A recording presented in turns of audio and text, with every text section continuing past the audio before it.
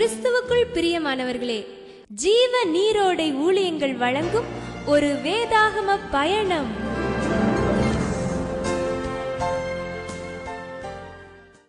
அன்பு நேயர்களே ஒரு வேதாகம பயணம் என்ற இந்த நிகழ்ச்சி வேதாகம காலத்தின் முக்கியமான சம்பவங்கள் வழியாகவும் தேவனுடைய மேன்மையான சத்தியங்கள் வழியாகவும் உங்களை அழைத்துச் செல்லும்.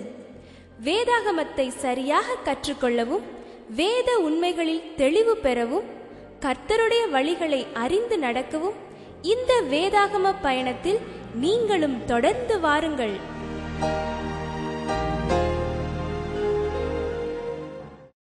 கர்த்தருக்குள் பிரியமானவர்களே ஆண்டவராக இயேசு கிறிஸ்துவின் இனி அன்பில் உங்களை மகிழ்ச்சியுடன் வாழ்த்துகின்றேன்.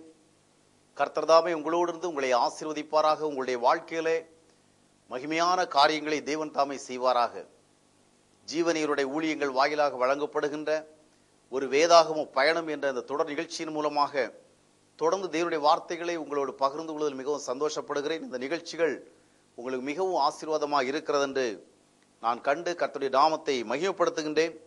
இந்த நாளிலும் கூட இந்த நிகழ்ச்சி வேளையிலே தேவன் தாமே நம்மோடு இருந்து நம் ஒவ்வொருவருக்கும் இந்த நாளில் ஆசீர்வாதமான வார்த்தைகளை தேவன் தாமே தந்தருளுவாராக.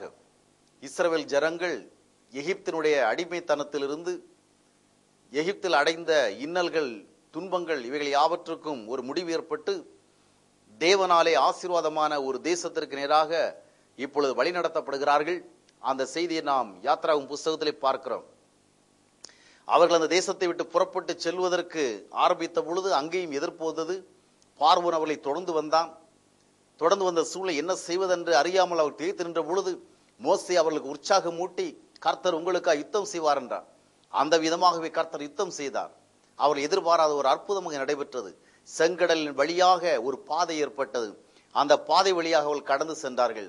அதே செங்கடலுக்குள்ளாக அவர்களை துரத்தி வந்த அந்த பார்வோனும் அந்த சே பார்வோனின் சேனைகள் வந்த பொழுது அந்த சேனைகளை அந்த கடல் மூடிவிட்டது. ஆக விதமாக செங்கடலில் வழியாக ஒரு பாதை ஏற்பட்டு அந்த பாதை வழியாக இவர்கள் கடந்து தொடர்ந்து பிரயாணம் செய்கிறார்கள்.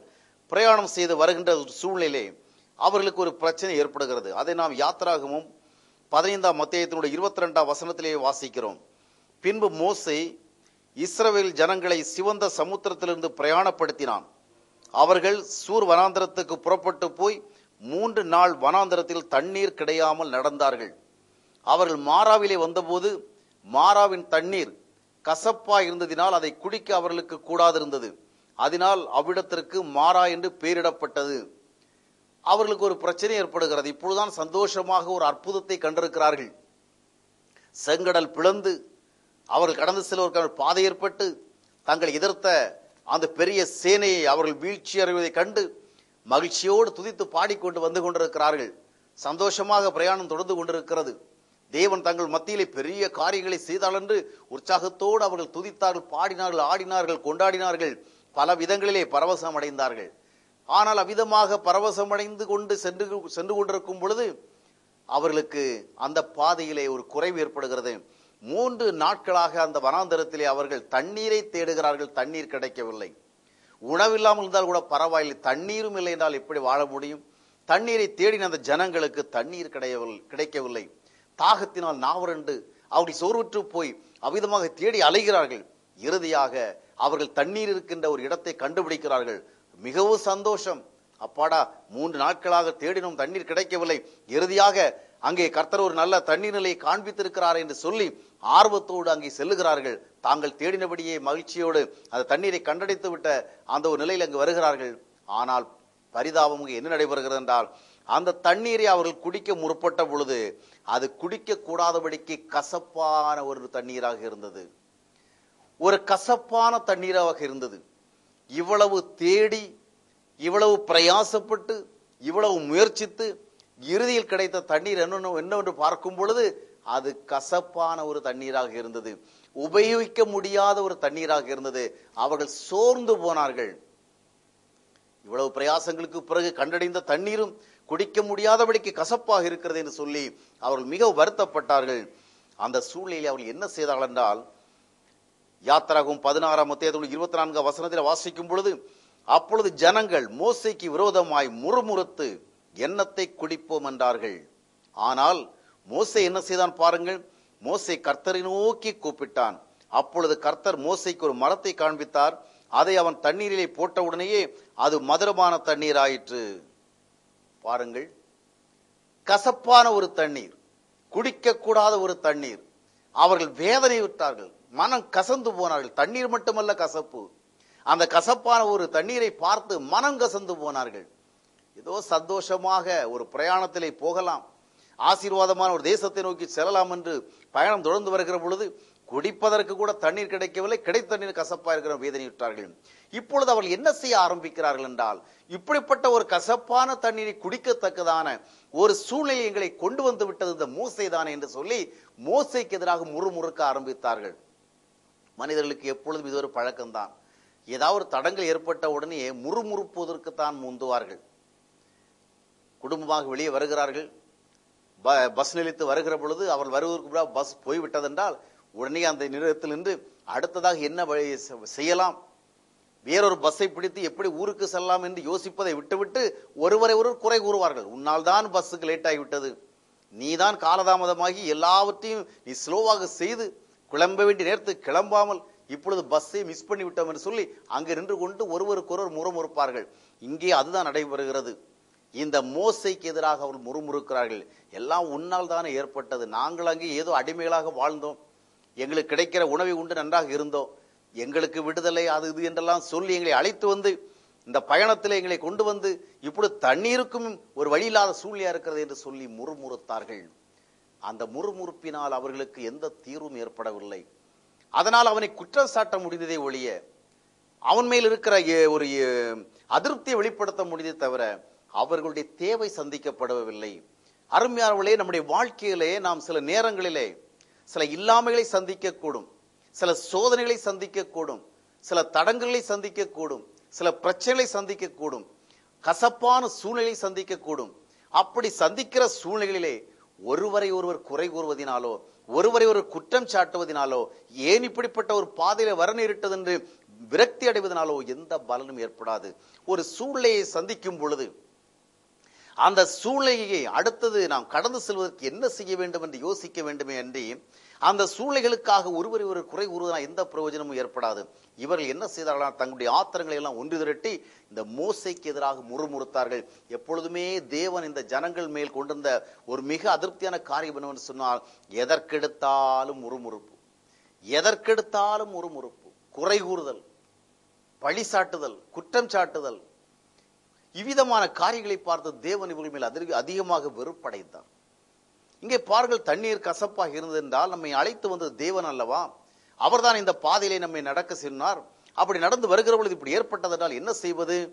அதற்காக தேவனிடத்திலே கேட்க வேண்டும். தேவனிடத்திலே மன்றாட வேண்டும். பாருங்கள் தேவனுடைய பாதையில நாம் நடக்கும் பொழுது நாம் விரும்பாத காரியங்களும் நடக்கலாம் நடக்கலாம். நாம் எதிர்பார்க்கிறவர்கள் நடக்காமல் போகலாம். அதுபோன்ற சூழ்நிலைகளிலே நாம் மனக்கசப்படைவதினாலோ தேவன் மேல் அதிருப்தி கொள்வதினாலோ ஒரு நன்மை ஏற்படுவதில்லை. சிலரை பாருங்கள் அவருடைய வாயின் வார்த்தைகள் அதிருப்தியாக இருக்கும். இவர்களுக்கு சில குறைவுகள் இல்லாமல் இருக்கும் பொழுது ஆமா கடவுளை நம்பி என்னத்தை கண்டோம் அவன் அவன் தப்பு பண்ணுறான் அவன் எவ்வளோ தவறு செய்கிறான்? அநியாயம் அக்கிரமம் பண்ணுறவங்களும் ரொம்ப நல்லா இருக்கிறான். கர்த்தருக்கு பயப்படுகிற எங்களுக்கு தான் இந்த பிரச்சனை. நமக்கு தான் சோதனை. நமக்கு தான் பிரச்சனை. பைபிள் படிக்கிறோம் ஜெபம் பண்றோம் சர்ச்சுக்கு போறோம் கர்த்தருக்கு கொடுக்கிறோம். நமக்கு தான் துன்பத்தின் மேல் துன்பமாக வருகிறதே ஒழிய அநியாய அக்கிரமம் பண்ணுறவங்களும் ரொம்ப நல்லா தான் இருக்கிறான். நம்மை விட அவன் ரொம்ப கம்ஃபர்டபுளா இருக்கிறான். இவ்விதமாக சொல்லி ஒரு அதிருப்தியை வெளிப்படுத்தி கொண்டிருக்கிறோம். பாருங்கள் தேவன் மேல் அதிருப்தி கொள்வது என்பது நம்முடைய ஆசீர்வாதங்களை தடை செய்கின்ற மிகப்பெரிய ஒரு தடைக்கல்லாக இருக்கிறது. சில நேரங்களில் நமக்கு ஏற்படுகிற சூழ்நிலைகள் தேவன் மேல் வருத்தத்தை ஏற்படுத்தலாம். ஏன் தேவன் இப்படி செய்கிறார்? ஏன் இப்படி அனுமதிக்கிறார்? ஏன் இப்படிப்பட்ட சூழ்நிலை ஏற்பட்டது என்று நம்மை சொல்ல வைக்கலாம்? ஆனால் நாம் ஜாக்கிரதையாக இருக்க வேண்டும். தேவன் எப்பொழுதுமே நீதிபரர். தேவனிடத்திலே நாம் தவறை ஒருபோதும் கண்டுபிடிக்க முடியாது. ஒருவேளை நம்முடைய கண்களுக்கு தவறு போல் தோன்றலாம். ஏனென்றால் நாம் நினைக்கிற விதமா தேவன் நினைப்பதில்லை. நாம் செயல்பட விரும்புகிற விதமாய் தேவன் நம்மை செயல்படுத்துவதில்லை. நாம் எதிர்பார்க்கிற விதமாக தேவன் நம்முடைய வாழ்க்கையிலே காரியங்களை நடக்க விடுவதில்லை. அவருக்கும் நமக்கும் இடையில இடைவெளி சில வேறுபாடுகள் இருக்கிறது. எனவே நமக்கு அதிருப்தி ஏற்படுகிறது. ஆனால் அந்த சூழ்நிலைகளிலும் ஆண்டவர் மேல் விசுவாசத்தை வைத்து அவரையே நாம் சார்ந்து கொண்டிருக்க வேண்டும். ஒரு பிரச்சனையா? ஒரு நெருக்கடியா? இதை தீர்ப்பதற்கு என்ன செய்வது என்று யோசித்து ஆண்டவரிடத்தில் ஒரு தீர்வு தேட வேண்டும். பல குடும்பங்களிலே பாருங்கள் கணவன் மனைவிக்கிடையிலே பிரச்சனைகள். அதற்காக என்ன செய்கிறார்கள்? தங்களுடைய குடும்பங்கள் ஏற்படுகிற ஒவ்வொரு தோல்விக்கும் ஒவ்வொரு பிரச்சனைக்கும் ஒருவரை ஒருவர் குறை கூறிக் கொள்கிறார்கள் குற்றம் சாட்டிக் கொள்கிறார்கள். அதனுடைய விளைவா குடும்பத்தில் அமைதி இல்லை சமாதானம் இல்லை. அதற்கு பதிலாக இரண்டு பேரும் சேர்ந்து ஆண்டவரிடத்தில் அந்த பிரச்சனையை கொண்டு போய் ஆண்டவரே இப்படிப்பட்ட காரியங்கள் இருக்கிறது ஏன் தான் இப்படி நடக்கிறது என்று தெரியவில்லை. எங்களுக்கு ஏதாவது ஒரு வழியை காட்டும் என்று சொன்னால் தேவன் ஒரு வழியை காட்டுவார். இந்த ஜனங்கள் எல்லாரும் இந்த பெரும்பான்மையான எல்லா ஜனங்களும் என்ன செய்தார்கள் என்றால் முறுமுறுத்தார்கள். கோபம் அடைந்தார்கள் எரிச்சல் அடைந்தார்கள் அதிருப்தி உற்றார்கள் விரக்தியாய் பேசினார்கள். ஒன்றும் நடைபெறவில்லை. சூழ்நிலை மாறவில்லை. ஆனால் தேவனுடைய மனிதனாகிய மோசு என்ன செய்தான் என்றால் கர்த்தரை நோக்கி கூப்பிட்டான். இதுதான் தேர்வு.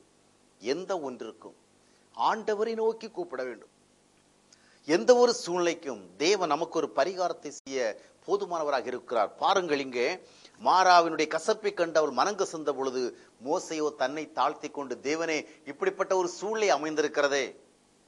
எங்களுக்கு ஏதாகிலும் செய்யும். இந்த ஜனங்கள் தண்ணீர் இல்லாமல் தவிக்கிறார்கள். அவர்களுக்கு கிடைத்த தண்ணீர் கசப்பாக இருக்கிறது. இவர்கள் என்மேல் கோபம் அடைகிறார்கள். ஏதாயிலும் செய்யும் ஆண்டவர் என்று அவன் தன்னை தாழ்த்தி ஜெபித்த பொழுது தேவன் சொன்னார் இதோ பக்கத்தில் ஒரு மரம் இருக்கிறது. அந்த மரத்தை வெட்டி நீ அதில் போடு. அப்பொழுது அது கசப்பு மதுரமாக மாறும். பாருங்கள் ஒவ்வொரு சூழ்நிலையும் சந்திப்பதற்கு தேவன் ஒரு வழியை நமக்கு காட்டுகிறார். ஒவ்வொரு கசப்பை மதுரமாக்குவதற்கு அவர் எதையாவது ஒன்றை செய்கிறார்.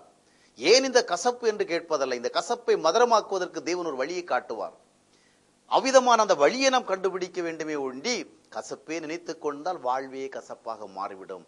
மோசை தன்னை தாழ்த்தி ஜெபம் பண்ணின பொழுது அவனுக்கு அங்கே ஒரு நல்ல தீர்வு கிடைத்தது நல்ல ஒரு சொல்யூஷன் அவனுக்கு கிடைத்தது. அவன் தேவனால் வழி நடத்தப்பட்டான் ஆம் இந்த தண்ணீர் கசப்பாக இருந்ததுனால் அந்த தண்ணீரை மதுரமாக்குவதற்கும் தேவன் ஏதோ ஒன்றை வைத்திருக்கிறார். அங்கே ஒரு மரம் இருந்தது. தேவனுக்கு தெரியும் இந்த ஜனங்கள் இந்த வழியாக கடந்து வருவார்கள். அவர்கள் இந்த கசப்பான தண்ணீரை காண்பார்கள். அவர்களுக்கு இந்த கசப்பை மாற்றுவதற்கு ஒரு மரம் தேவை என்று அங்கே ஒரு மரத்தை ஆயத்தமாகத்தான் வைத்திருந்தார். வாழ்க்கையினை நாம் சந்திக்க எல்லா சூழ்நிலையும் கடந்து செல்வதற்கு தேவன் நமக்கு ஆதரவாக எதையாவது அவ- ஆயத்தமா வைத்திருப்பார். எலிசாவிற்கு எதிராக ஒரு பெரிய சேனை வந்த பொழுது அவனுடைய வேலைக்காரன் பயந்தான் நடுங்கினான். ஆனா எலிசா தைரியமாக இருந்தான். இந்த சூழ்நிலை கடந்து செல்வதற்கு தேவன் எனக்கு எதையாக ஆயத்தமாக வைத்திருப்பார். ஆம் நாம் தேவனை சார்ந்து கொண்டிருந்தால் நாம் தேவனுடைய வழியிலே பிரயாணம் செய்து கொண்டிருந்தால் நாம் சந்திக்க நேரிடுகின்ற எந்த ஒரு எதிர்மாறான சூழ்நிலைக்கும் மத்தியிலும் அவைகளுக்கு உகந்ததாக அவைகளை கடந்து செல்வதற்கு ஏற்றதாக தேவன் நமக்கு ஆதரவாக எதையாலும் செய்வார். இந்த நம்பிக்கையோடு விசுவாசத்தோடு நாம் அவரை நோக்கி பார்க்கும் பொழுது வாழ்க்கையிலே தீர்வு கிடைக்கிறது. அந்த தண்ணீரை விட்டு வேறு தண்ணீரை நோக்கி போக ஆண்டவர் சொல்லவில்லை. அந்த தண்ணீரையே மதுரமாக்கினார். சில நேரங்களில் குடும்பங்களுக்குள்ளே பிரச்சனை வருகின்ற பொழுது சிலர் விதமான முடிவில் எடுக்கிறார்கள். இந்த கணவனை விட்டு போய்விட்டால் என்ன? இல்லை இந்த மனைவி விட்டு போய்விட்டால் என்ன? ஒரு தனி வாழ்வை கண்டு விட்டால் என்ன? என்ற எண்ணங்கள் ஏற்படுகிறது.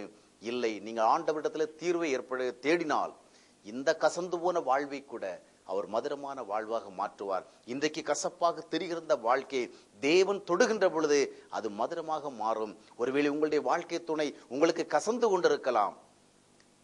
உங்களோடு நெருங்கி பழகி கொண்டிருக்கிற ஒருவருடைய உறவை உங்களுக்கு கசந்து கொண்டிருக்கலாம். ஆனால் நீங்கள் தேவனிடத்தில் இந்த காரியத்தை சொல்லுங்கள். அவர் கசப்பை மதுரமாக மாற்றுவார். பெரிய காரியங்களை செய்வார். அந்த நம்பிக்கையோடு ஜெபிப்போமா? எங்களை நேசிக்கிற அன்பின் ஆண்டவரை நன்றியோடு துதிக்கிறோம் சோதரிக்கிறோம் மாறா போன்ற சூழ்நிலைகளை நாங்கள் சந்திக்க நேரிடுகின்ற பொழுது அவைகளை மதுரமாக மாற்றுவதற்கு நீர் ஏதாவது ஒன்றை எங்களுக்கு ஆயத்தமாக வைத்திருப்பீர் என்ற நம்பிக்கை கொடுத்ததற்காக நன்றி செலுத்துகிறோம்.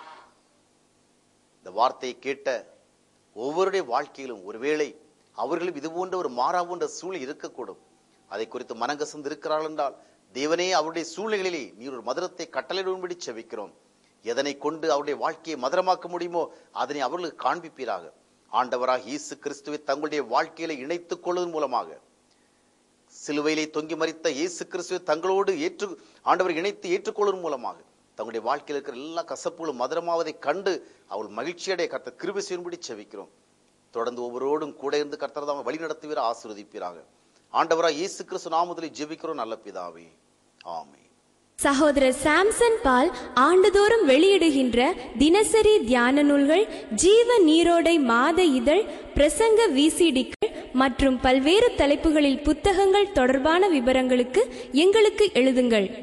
தொடர்பு முகவரி சகோதரர் சாம்சன் பால் நூற்றி இருபத்தி ஆறு முத்தைய முதலியார் வீதி பாண்டிச்சேரி ஆறு பூஜ்ஜியம் ஐந்து பூஜ்ஜியம் பூஜ்ஜியம் மூன்று இந்தியா. தொலைபேசி எண் பூஜ்ஜியம் நான்கு ஒன்று மூன்று இரண்டு இரண்டு மூன்று ஆறு பூஜ்ஜியம் நான்கு இரண்டு. In English Samson Paul one twenty six Muthaiah Mudaliar street Pondicherry six zero five zero zero three India. Phone zero four one three two two three six zero four two or email address ஜீவ நீரோடை at ETH dot net